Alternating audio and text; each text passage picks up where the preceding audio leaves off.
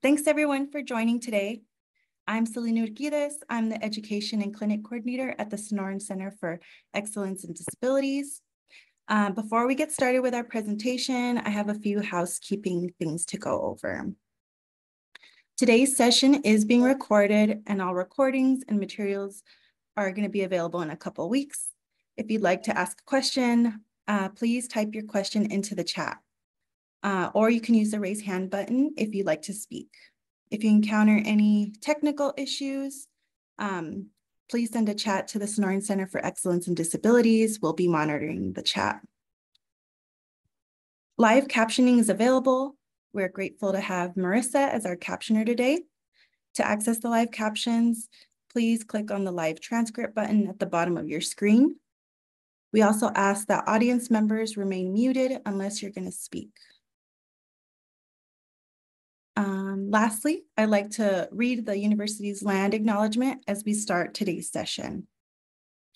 We respectfully acknowledge the University of Arizona is on the land and territories of indigenous peoples. Today, Arizona is home to 22 federally recognized tribes, with Tucson being the home of the O'odham and the Yaqui. Committed to diversity and inclusion, the university strives to build sustainable relationships with sovereign native nations and Indigenous communities through education offerings, partnerships, and community service. Thanks. All right, so today I want to introduce our speakers. We're excited to have our friends from the Autism Society of Southern Arizona. They're here to present to us on uh, autism-friendly communities. We have Kate Elliott, Maxine Matthews, and Jade Munsey. Thank you guys so much for having us here. I'm going to share my screen real quick so everybody can see our slides. Awesome. Well, thank you so much. Like she said, I'm Kate Elliott. I'm the executive director of the Autism Society. And I came to the autism world because I have a now eight and 12 year old um, who are both autistic. And I do this job so I can advocate for them and make the world a better place. And we're so excited to have you guys here today. I'll let my team introduce themselves. Hi, I'm Maxine Matthews. I'm the Information and Referral Specialist for the Autism Society of Southern Arizona. Um, I came to the Autism Society because I have two boys on the spectrum. Um, one is 19 and one is 14.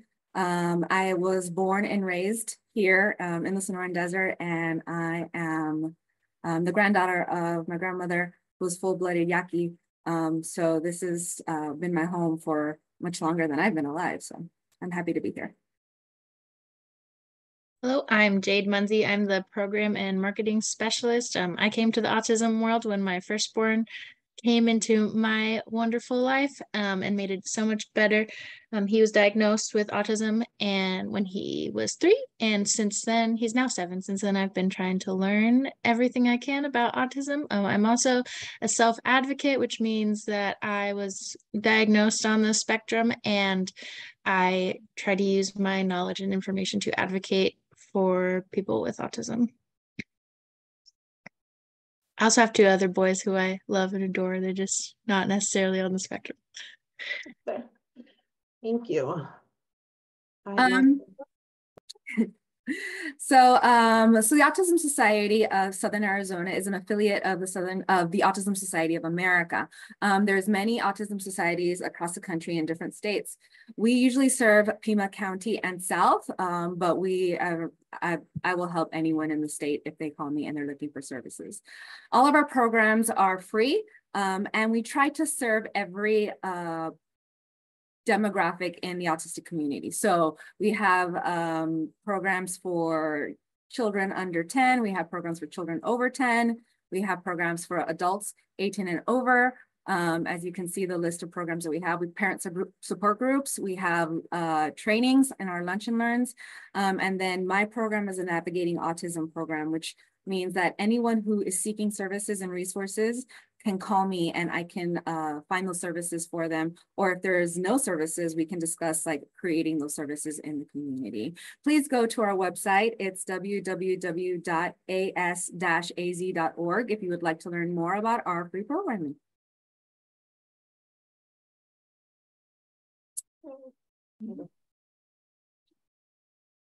So let's talk about um, the CDC. The Centers for Disease Control and Prevention released updated data where the number of children diagnosed went from 1 in 40 in 2021 to 1 in 36 in 2023. As you can see, 1% of girls and 4% of boys.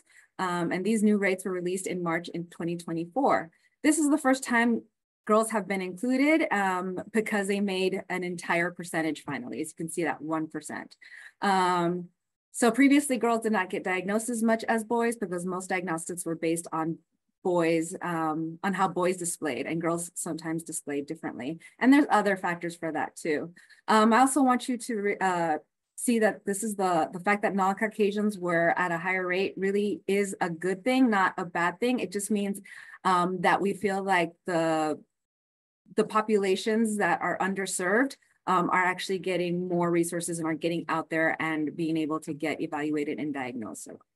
Um, and then I just want to say that one in 36 is probably not an accurate number um, because this is based on uh, eight-year-olds in the Maricopa County of being diagnosed. Um, so we're talking about, think of all, everyone who's not eight years old that can be diagnosed. And what we uh, always like to talk about is how many adults are getting diagnosed now. Um, so that one in 36, uh, we do believe is a higher number.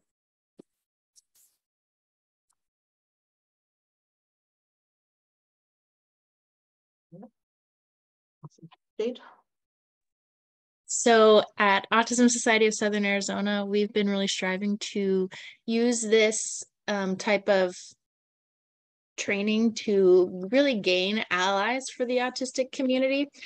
And what that might look like um, is there's these different types of allyships. One is individual. So this is you learning how you're learning about autism, what it what people maybe have it in your life, maybe what mindset you might have originally, um, and trying to to educate yourself and model that good behavior and that mindset. And then we have our interpersonal relationships. These are surface issues um, that you're going to change from day to day with how we interact with people. Maybe um, maybe it's family, maybe it's friends, maybe it's even coworkers who you just are going to be more aware of uh, autism and if someone for example like if someone said something rude about someone else maybe you would be able to talk to them about it or about how maybe that was a rude comment about autism or something. And then we have our structural changes, which is pushing no- the norms, pushing the policies and the systems, um, and really working together to make those structural changes. Um, so, this is a type of allyship that we are hoping to call all of you who are here to. Um, and just because you came to one training doesn't make you an ally, but it's a start and it's something that we're excited about because we need everyone's support to help make other people's lives just a little bit better. Sometimes it's it's um, really hard, and so even if it's just a little bit better to have that support, that's what we're here for. That's what we want to do. Next slide.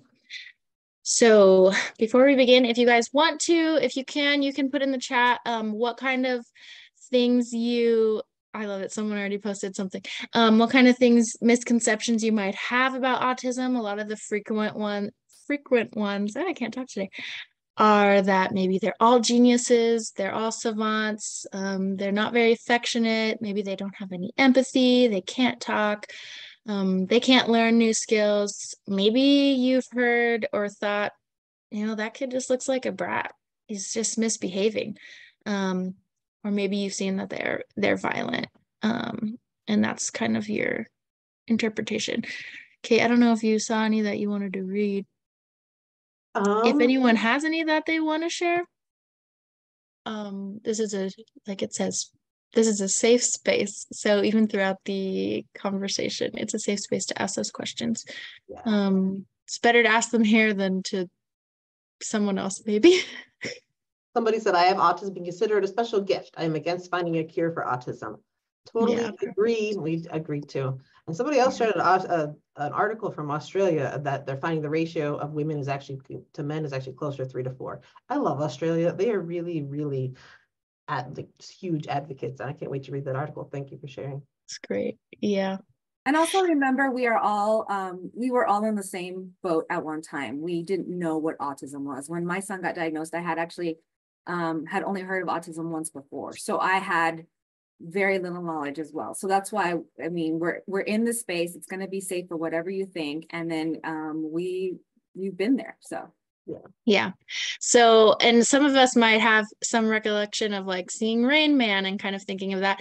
And it's not that that's that that doesn't look like autism. That looks like that person's autism. Um, and obviously that's an actor, but they're all they can be different for everybody. They're going to fall under certain umbrellas, but not everyone is a genius, but some are um not everyone is super affectionate but some are right? It's going to be different for everyone um but they're going to follow some certain characteristics. So if we go to the next slide we are going to watch a video.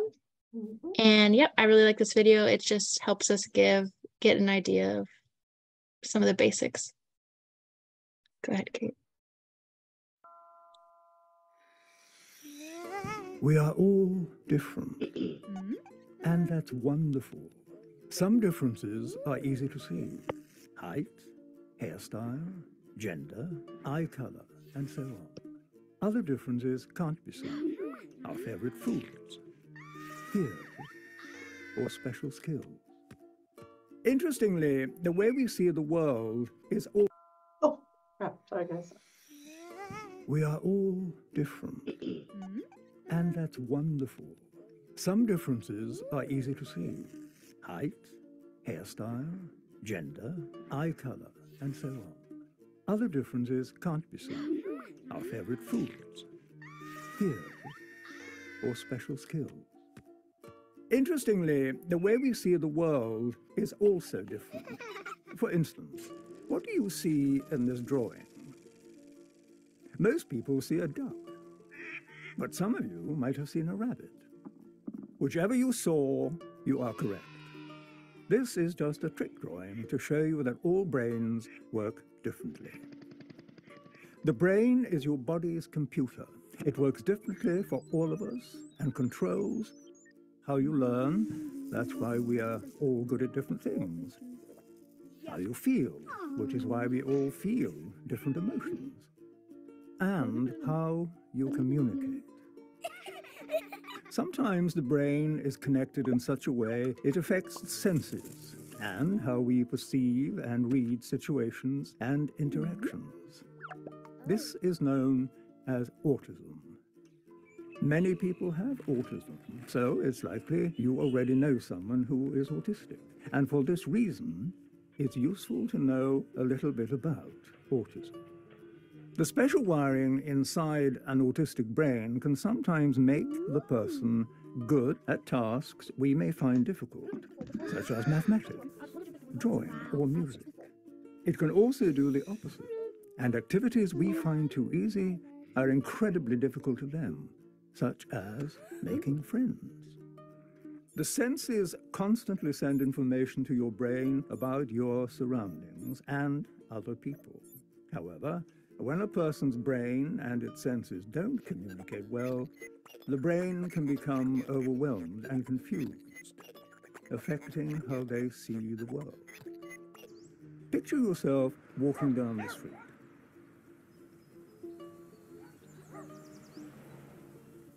This is how an autistic brain may experience the same world. Scary, isn't it? Sadly, in many cases, the person can't say out loud how they feel.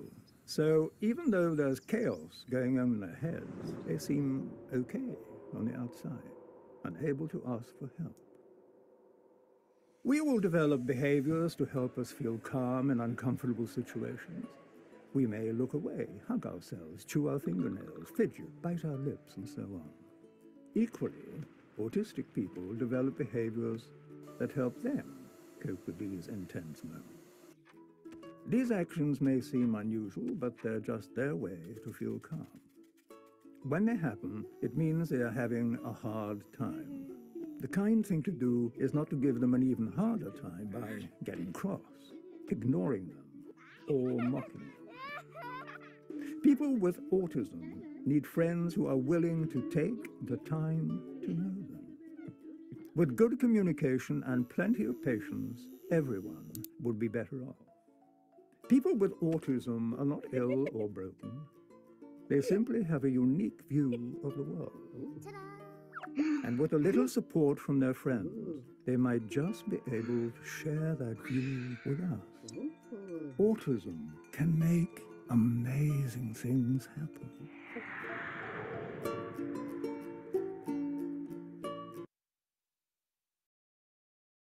Love that video so much. I don't know if it's his voice or what, but I also love autism, so it's probably all that. Um, okay, so here are some of the actual criteria. Like I said, it can be different for um, everyone, but for the most part, these are going to be the main criteria for getting diagnosed. So um, this is from the Diagnostic and Statistical Manual of Mental Disorders, the DSM-5. And the first criteria is social communication deficit. So this could look like being nonverbal, um, or it could look like having a difficult time expressing yourself in an appropriate way, um, or it could look like needing to write um, to communicate or use some sort of other communication. Um, I like to think of it more as just like communicating differently versus communicating deficit, um, just differently than what maybe we would um, typically do with this with the interactions that we have from other people. Um, the second one is going to be a fixed interest and repetitive behaviors. So um, again, this could look like someone really interested in trains, um, but it can also look like someone really interested in autism.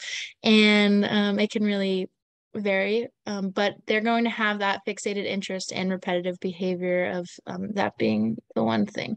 Um, the second, the third one is the symptoms existing in early childhood. So this is an important one. It means that they that autism was present from a young age and didn't just occur when they were 18 or 30 or 50. Um, this is something that has existed their whole, relatively their whole life, um, or at least developed really young within their childhood. Uh, number four, so criteria D, is symptoms impairing function. So this means that at some point, wherever they are on this spectrum, um, it's going to reach a point, their symptoms are going to reach a point where it impairs some type of functioning, whether that is in communication, whether that is their fixated interest is causing other issues um, where they cannot function in some other form. Um, so somehow it's going to impair functioning. I would say impair typical daily functioning. Um, criteria E is the impairments are not better explained by intellectual disabilities. So this is a very important one.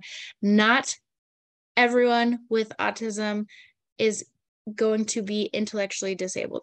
There are some people who will have comorbidities and also be intellectually disabled, but the majority of people, I would say the majority, I don't know, that could be, I could be saying too much, but most of the people for the autism diagnosis aren't necessarily intellectually disabled. And so that's not going to fit in that diagnosis. Does that make sense, Kate?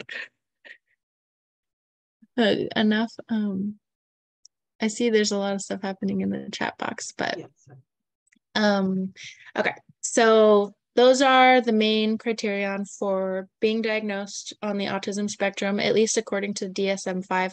Um, CDC has that, again, it's a social communication difference or deficit and the fixated interest, repetitive behavior. So those are the things that are really focused on um, for people with autism. So, yeah. And it's important to know that, um, oh yeah, never mind.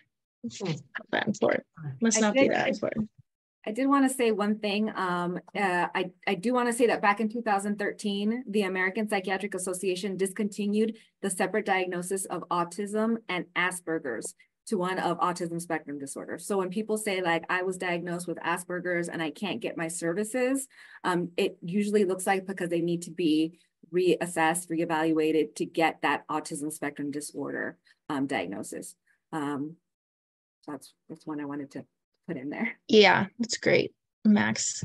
Um, I was originally diagnosed with Asperger's, but obviously um, it's all part of that spectrum. So yeah, that's an important key.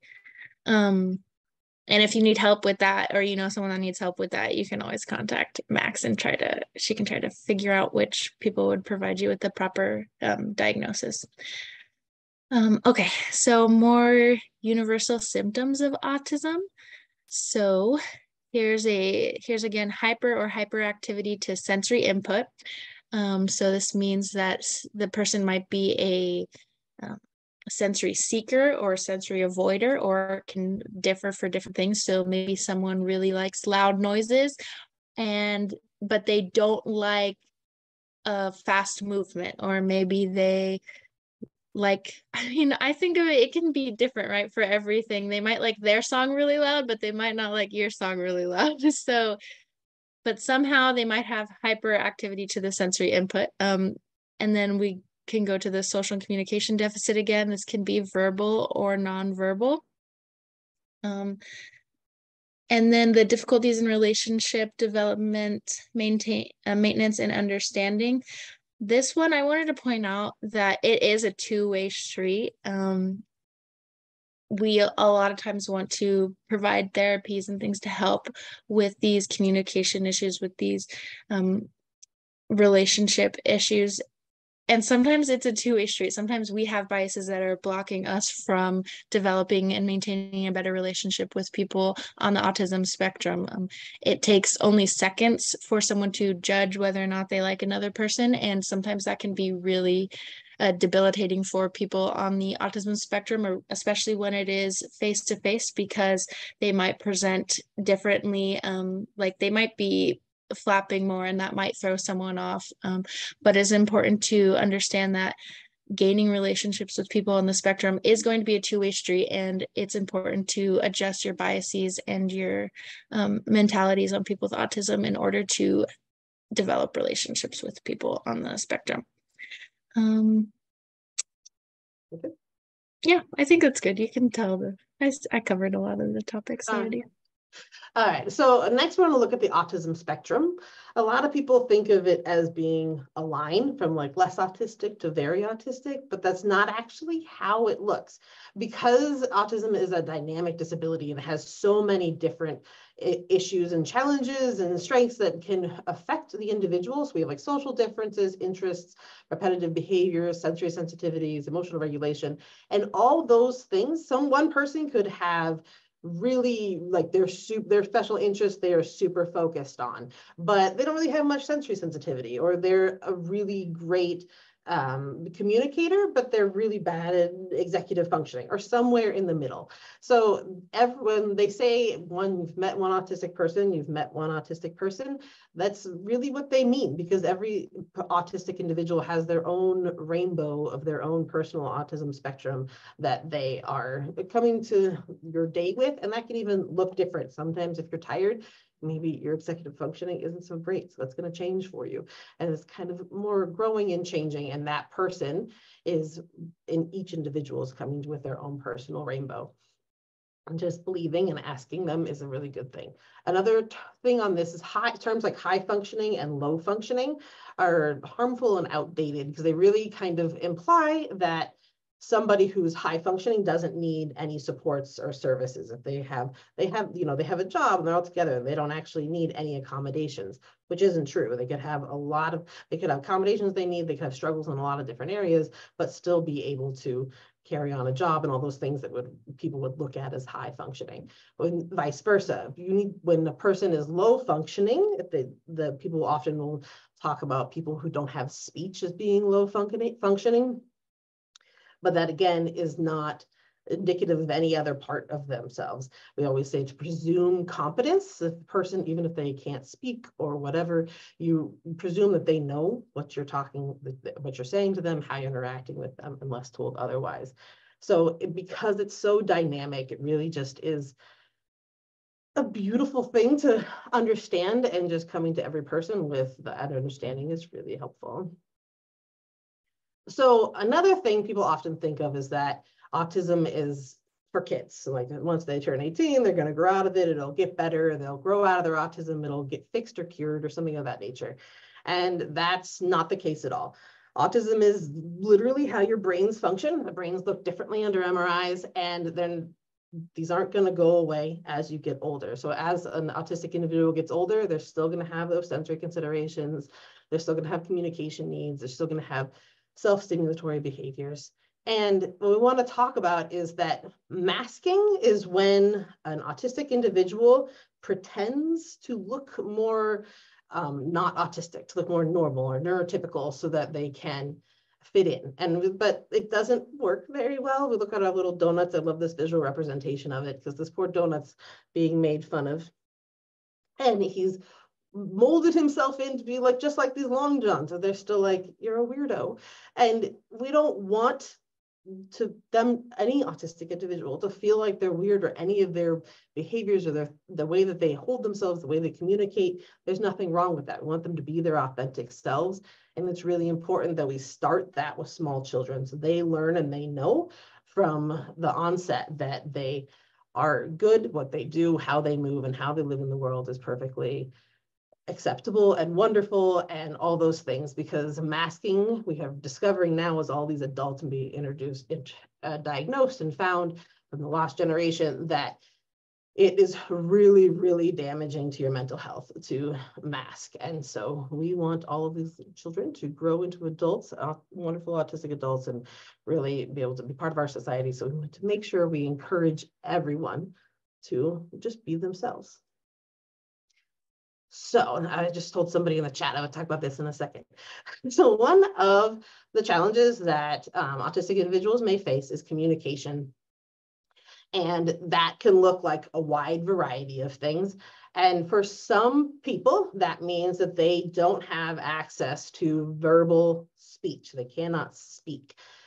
For some people, it means they cannot speak in every situation. Like the person in the chat had mentioned that they, their grandson or somebody talks around their parents, but they don't talk around their grandparents or people at school. And that is completely normal. It's why, I don't know, probably some level of anxiety or comfort or thing of that nature, but they are just aren't able to use speech in those situations. Some people go to um, like they call called selective mutism, where they they lose all access to speech, where they would would be able to give you a whole dissertation before, and then they lose access to speech because of the situation that they're in. But for some people, they just never have access to speech, or it's an emerging um, thing that they're working on. So you, these are different tools that you may see people use out in the world to communicate better starting with like the basic sign, baby sign. I haven't really run into any autistic individuals who use sign totally, but I'm sure it's totally possible.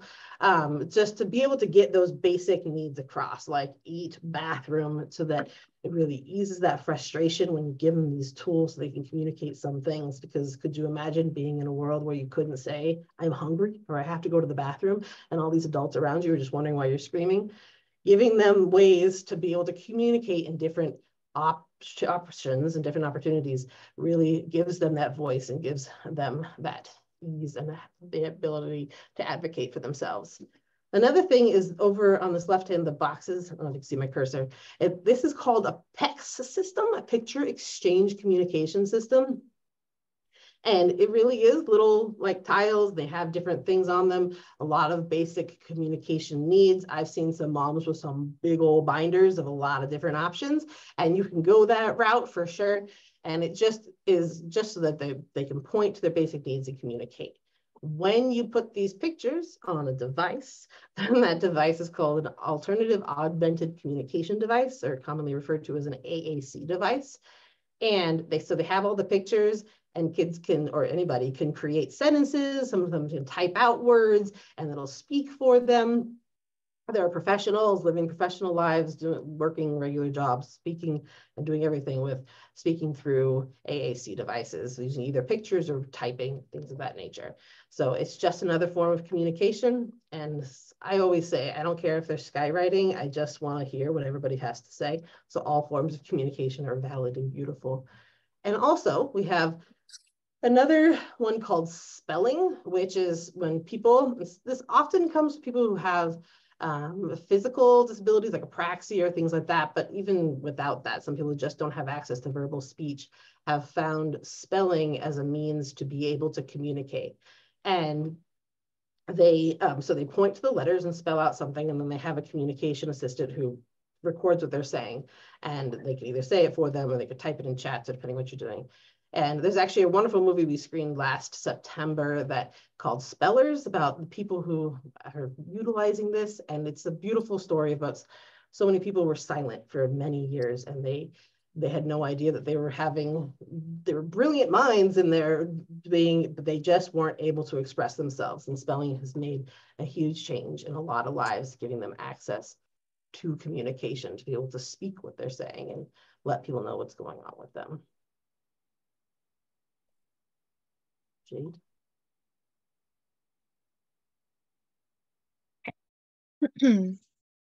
so again, this is more about communication.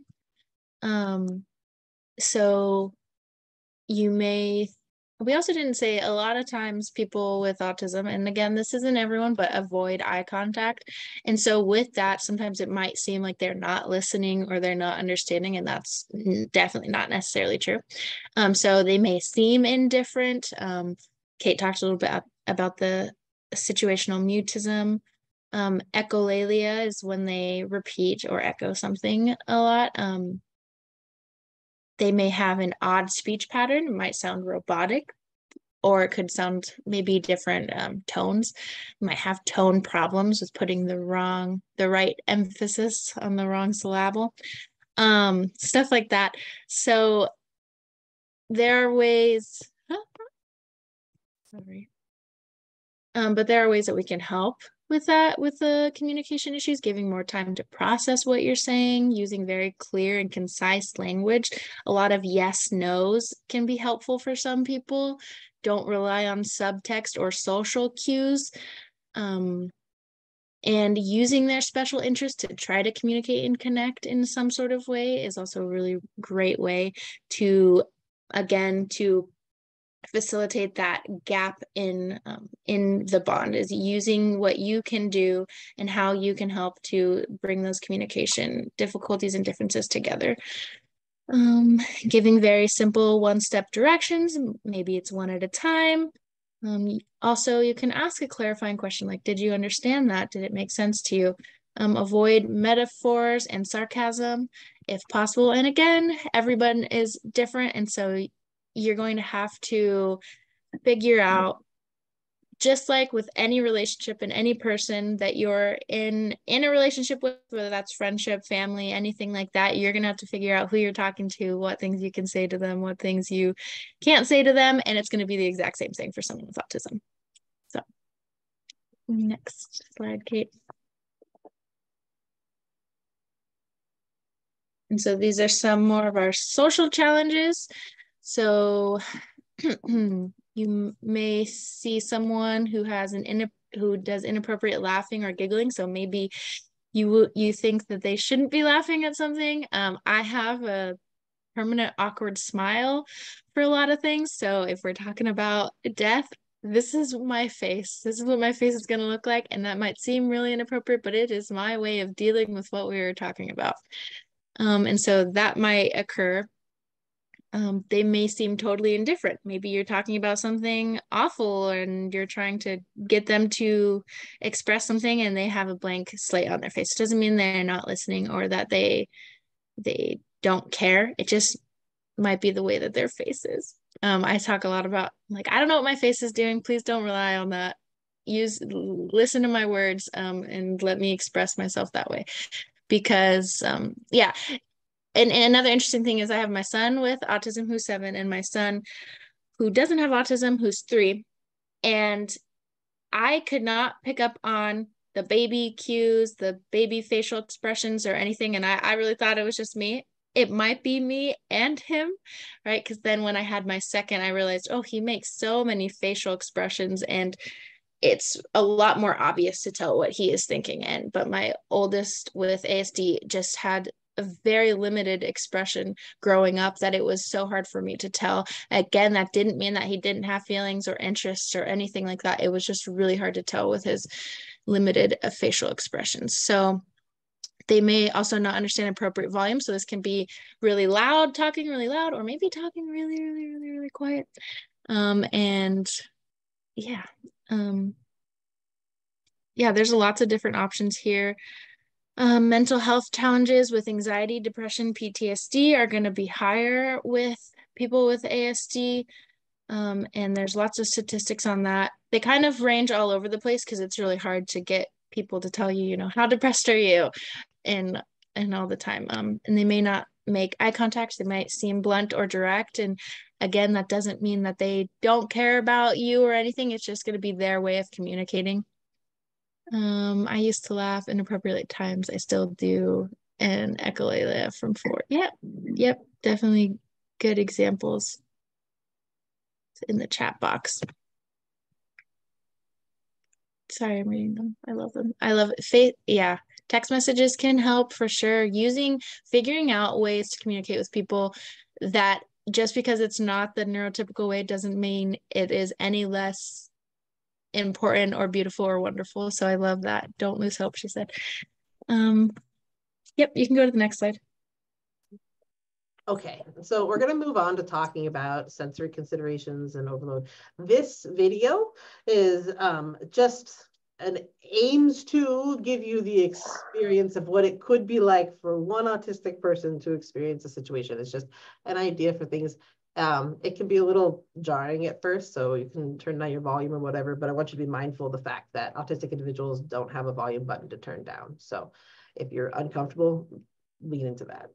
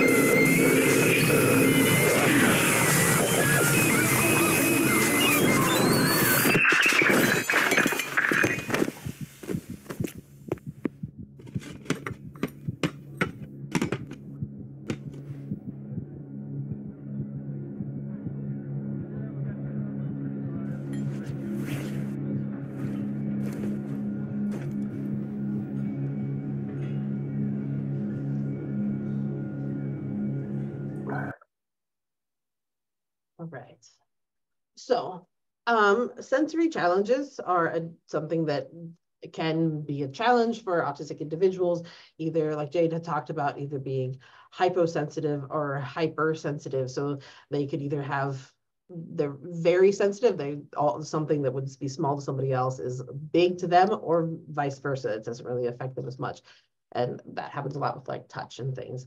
So we know the sensory system, right? So we know sight, touch, smell, hearing, and taste. We know how all those could be bright lights, uh, lights that make noises, the smells, other people's perfumes, the, just loud places in general, foods that are not good to you, touching when you don't want it. My daughter, if you touch her head, you could touch her most other places, but if you touch her head, it's over for you. Um, so all those types of things are just different options and different there's things to consider. Things that, oops, sorry, we did, what uh, senses we don't often talk about are interoception. So interoception is the feeling of what's going on in your body, the things that we don't generally think about, but they're innate feelings like hunger, needing to go to the bathroom, um, your heart rate racing, being tired, feeling sick, having something wrong in the pain inside your body and not knowing those can people with autism can have interoception issues where they don't feel those things as well. So, but they don't know that they're hungry. They're not aware that they have to go to the bathroom. They're not aware that they're sick. But just because they're not consciously aware of it or able to communicate that to you doesn't mean it isn't affecting them. My daughter is just when she about turned eight, but just recently have gotten to the point where she can really understand that she is hungry and that hunger is fixed by eating. Now, was she hungry before? Yeah, absolutely, all the time. But instead, she was just hangry and didn't want to eat anything but candy because she wasn't hungry. And what's the point? And so she would, eating was a very hard thing for us to get her to do. But she still had all those feelings and all the repercussions of not eating, of being actively hungry. They were there, they were just bugging her and breaking down her ability to handle the world at large without her being able to directly interact with them. Proprioception is your place in space like how you move about the world how you feel about uh, how you, how far away this is or that is. There's a really fun way to test your proprioception so everybody can do this. Ready? If you close your eyes and put one arm out in front of you palm facing down and make sure your eyes are closed when you do this you take your other finger and you point to the center of your palm that's down over here how close did you get did you actually get on your hand? Did you get some other random place? That is just one small representation of how your understanding of your sense in space.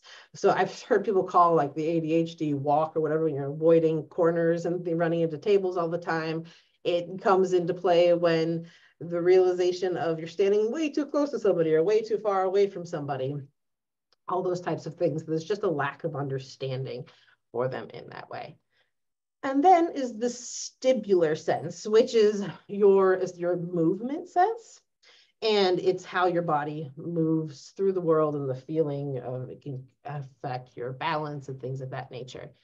The Vestibular input, like swinging and rocking and things of that nature, can be incredibly, for some, can be incredibly regulating to the sensory system. And so that's what leads us to stimming. Stimming is self-stimulatory behavior. It's that repetitive behavior that they're talking about in the diagnosis. And there are things that you can do to that are the very classic one is like a little boy flapping his hands. It can be pacing back and forth. Echolalia, Jade mentioned earlier, is another form of stimming is like repeating phrases or words over and over and over again, or even just making a sound like ah. Um, I have some friends who make loud shouting noises all the time. They're not mad, they're just making loud shouting noises because that's how they stim. Um, Jay, uh, Max is showing you her things. I always play with fidgets. My desk is covered in toys because I can't, my brain doesn't operate unless my hands are doing something. Stimming is incredibly helpful to everyone. That's we really, really try to normalize it. It may look strange in public, especially if somebody's having bigger stims running up and down a grocery aisle or something of that nature. But there's but it's super super helpful to calm the nervous system to give your helps your brain work people actually listen better when their hands are busy so the whole old adage of quiet hands, open ears isn't really functional. You, that's why we really encourage all sorts of stim toys and all sorts of things in classrooms and the world and everyday life to help people have that regulation. Everybody stims to some degree. If you're biting your nails, shaking your leg, all those types of things. How do you move to make yourself feel better? Yep, clicking pens, all those things and they could turn into, you know, all sorts of greater things. But we really just want to send it home that stimming is fantastic, and normal, and great. Sorry, James? I don't know if you're stuck desk. Okay. All right. So um, now that you've known all this information about their sensory needs and things that people go through in the world when they have autism, um, what is going to happen when you're going to work with someone, meet with someone, if you have a family member, if you have a student. Um, uh, because of this knowledge, uh, we always say, well, now we've given you this training. Now you can ask if anyone that you're going to come in contact that has autism, if they if they need accommodations. Um, and so we're going to talk a little bit about what accommodations can look like. Um, if someone is overstimulated for some reason, I can use an example of um, my son. If the lights are too bright and there's people laughing and talking and everything, he can get very agitated. He doesn't like crowds. He doesn't like going to um, malls and or anything. We went to Disneyland and it was it was a four hour experience. Um, and uh, so what I always want to talk about is that I have a I try to always get him a break space wherever we are. So if we're on vacation, I try to hope that he has his own room to be able to take a break. In his in my house, obviously, it's his bedroom. Um, uh, if you are not able to create a break space, um, and break spaces can look very specific um, depending on uh, everything that you've learned here. You could, that you could fill them up with fidget toys. Um, you can have boxes of earphones in rooms or in a place that you know that there's going to be uh, somebody who, who needs extra accommodations. Um, hats, hoodies, sunglasses.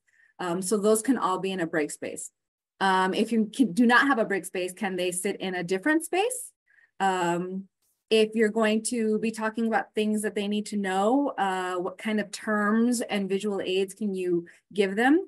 If you're working with someone that needs to accomplish certain activities, um, make a list before that. Uh, or if you're gonna wanna know something that like, oh, please don't do this, or please do this. Um, if someone can visit the area, um, it's always good every time um, my kids have gone to a new school or to a new doctor, I always try to go to the office or to the school and tour first. Um, and uh, a lot of times what you can do to do that is take pictures of those areas, um, an office, a school, if they're going to go visit a family member for the first time, take pictures of them like, who is this person? This is your aunt. Who is this? This is your cousin. Um, and you can do that. And that's called a social story. So you can be like, this is the house that we're going to to go spend time with family and you take a picture of the house and then this is what the living room looks like. Um, but when i do that i always try to think what can i do to accommodate when we do do things like that? And of course i have like a very big car that i have lots of things in and where my son can hide and listen to music and everything if if anything gets too too much. Um, every time we do these trainings people always ask us like well, what happens when this when this student does this or when my nephew does this or my brother does this? Can how can i help them?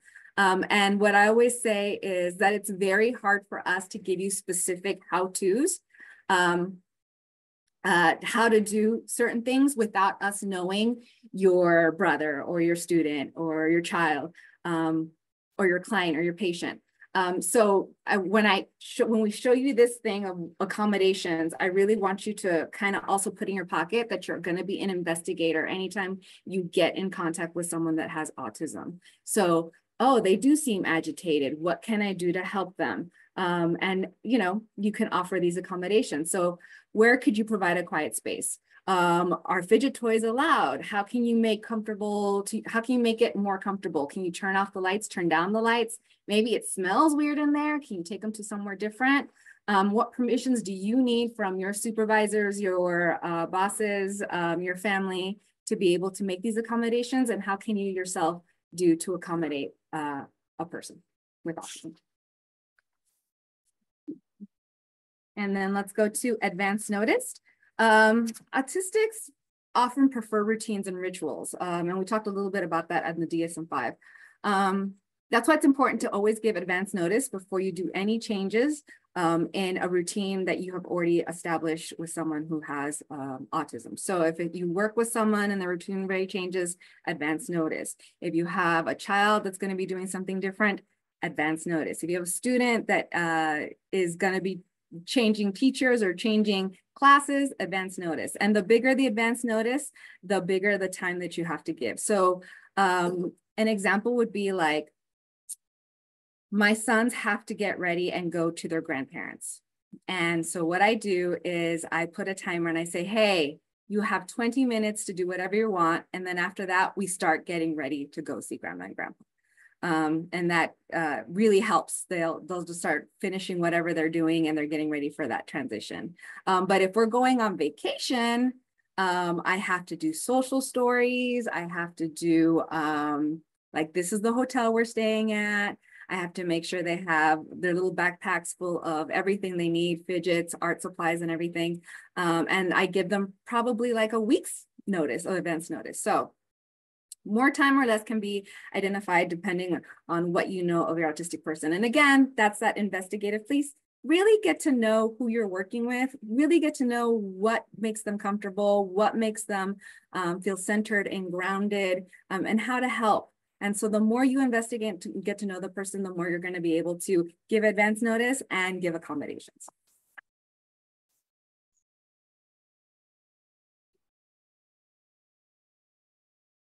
Jade.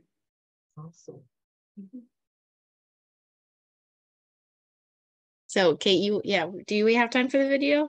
Yeah, I think so. Okay. I'll do fast forward. Well, this is a video about um what to do when meltdowns or overloads happen. So we'll let her um she she describes it really beautifully and and so we like this video. Autistic meltdowns are not a tantrum. They are a neurological overload. Gets the body physically prepared to fight and flight by releasing lots of nasty stress hormones. Our brain activates cortisol, adrenaline, gets your heart pumping, the blood delivered to your muscles so you can fight or run away, flee the situation. The difficulty is that autistic people will become overloaded from a lot of things because we are sensory sensitive, cognitively overloaded. The adrenaline, your heart's racing so much and you're sweating so much. You can barely even think. I don't even know what I'm saying. I feel like I need to fight the situation to survive. Why does this happen? Triggers, baby, triggers. Iceberg theory. We all have a conscious, and underneath that, in the unconscious and the subconscious, are memories and other past traumas which we all keep bearing. We may be triggered because a routine has broken. We feel anxious outside of that. So we control a lot of the things in the environment to make it predictable. Some autistic people, when they melt down, will shut down, completely freeze, and go inwards on themselves. And I know that feels like you go completely numb. All the awful bad feelings come over me, and I can, I actually become mute. I, I don't often speak for an hour or so when I'm in those states. Speaking about it makes me stim. Because it's a physical response, your autistic person cannot help this. It is not deliberate. It is our jobs as adults to react appropriately to autistic distress and trauma. See which one you think is more helpful. I'm having a meltdown and I'm hitting myself and I'm throwing things everywhere and I'm telling you that I hate you and you're saying, yeah, well, I hate you too and I don't think you're great either and your behaviour is disgusting and I'm never going to give you that present and I'm cancelling your birthday party. The autistic person will fight and fight and fight because they feel it is the end of the world and they have nothing to lose. So try this. I know you are sad. I know you are angry. I am sorry you are in pain. How can I help? Is there anything I can do? Would you like me to go away? Would you like me to be quiet? Do you need a minute? Do you need a glass of water? Do you need a pen and a paper to show me? Can you show me through a movie or in a book? Can you draw how you feel? What are you afraid of? Validate your autistic. Validate how terrified they are in that moment. Even though it doesn't make sense to you, they may fight it. They may say to you, Well, of course I'm not okay.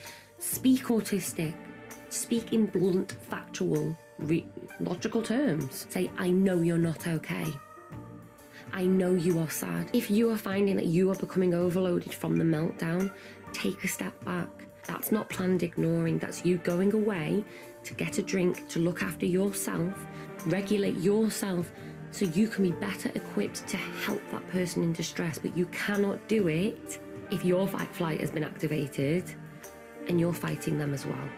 If you're in a situation with your meltdowns and you're asking, why is this not getting better? Ask yourself, are you fighting the meltdown as well? And if so, we have a few people in fight flight here, and all of it needs to be deactivated. Autistic meltdowns are not. So hopefully you can see why we love that video. Um, she just does a beautiful job of, of explaining a lot of stuff. Um, and Max has said it already, and I think Kate's probably said it, and I'm gonna say it again too. People always want when we do these trainings, they want real, like, show me what this looks like. Show me what I can do. Tell me, I want more examples. I want, I want more examples of this and that. But the the thing is, is everyone is going to be so different. And we we can talk about this for hours. We'd love to. We'd love to do more trainings. We love talking about that. This hour is so short. But at the end of the day, it's going to be very person specific. Um, and yeah, but but there are some tips that you can that can help in general. So for meltdowns, what can we do? Maybe clear the space, maybe go to a different room if someone needs a different room um, ensure safety. We're never advocating that people are getting hurt, um, that just because someone is autistic, they have the right to hurt or punch people or hurt themselves. Sometimes that's really difficult. Um, so we want to ensure that everyone is safe in the environment. Um, manage sensory if it is a sensory issue. If you if you can somehow, like someone suggested, headphones. If you can get headphones, if you can get sunglasses. Um, sometimes there's smells that's my really big sensory issue. Um so yep uh, get grounded yourself. This can look like being emotionally grounded or actually just sitting down on the ground. When it comes to maybe smaller people like my little son i can sit down on the ground and um, still maintain a safe environment so that he can see that i'm calm i'm relaxed and i'm here for him and what he needs. Um, but that can also be just yourself grounded like she was talking in the video do you need to go get a drink of water so that you can be regulated yourself and they can feel that regulation and you can help there?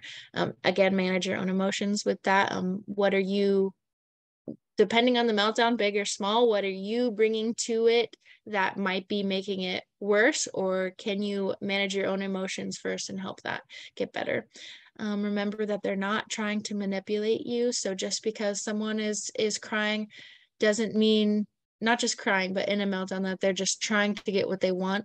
Um, sometimes it can just be that they cannot fathom or understand the situation that they are in and that might seem like they're trying to get what they want but not being able to perceive the situation that you are in whether that is a sensory thing whether that is that McDonald's ran out of ice cream, whatever that might be can feel like life or death can feel like fight or flight. Um, and then also behavior is communication. So if someone is screaming that means something is happening right? Um, they're trying to communicate something. Um, and it is going to be hopefully as an ally your job to try to figure out what that communication is um, if they can't do it if they can't do it in the way that you perceive. Um, and another thing that i just wanted to make a side note um, i would never recommend holding someone down unless there's an extreme safety issue. Um, we we don't sometimes you might think like oh they just need a bear hug but that can be even worse in a lot of situations. So really knowing your person knowing what they want not just your person but also not um seeing oh sorry. Just because we give you this information and you see someone in a meltdown if you don't know them don't go interact right? There could be their mom could be trying to help them and if they ask for help then okay. But don't don't be like i know what they need. They need this and this and this. You can try to offer water or something like that but um yeah don't just presume that because you took an autism training that now you're going to know everything that they need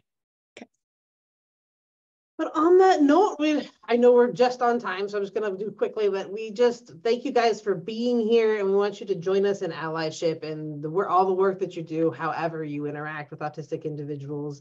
Um, just to speak up, to advocate, to encourage others to to advocate as well, to engage in things and communicate with us and let us know all your information so we can share with our people. We're always wanting to build our resource lists.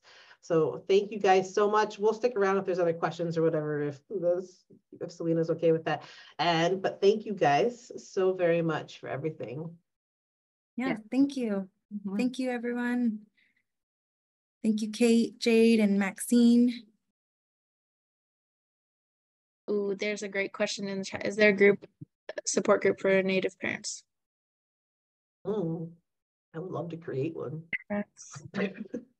So um, Um, I was I was born and raised here. Uh, my grandmother was full-blooded Pascua Yaqui, and then my great grandmother was also full-blooded Pascua Yaqui. I, I was raised on the reservation, um, and I facilitate the parent peer support group. So for me, that is the Native group, just because I am Native, uh, but I'm also Black and I'm also Mexican. Um, and uh, we have it virtually the first, uh, the second Wednesday of every month, and then we have it in person um, the fourth Thursday of every month.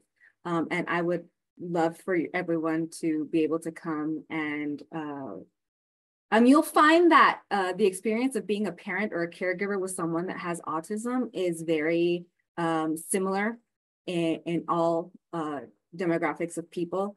Uh, it's it's a hard journey, and um, and to know that you're not alone and you can do this um, and there's like thousands of us where we are legion. I always say that. We are legion um that we just you know please I, i'm inviting you to come to my peer parent support group and see um, how you like it. And if not then you know i can also make another one um as well so. We had a monthly meeting down here before COVID, but I lost touch. Um, Monica Romero had asked if they had a monthly meeting down here. Did Max answer your question or was it a different? She one? said none for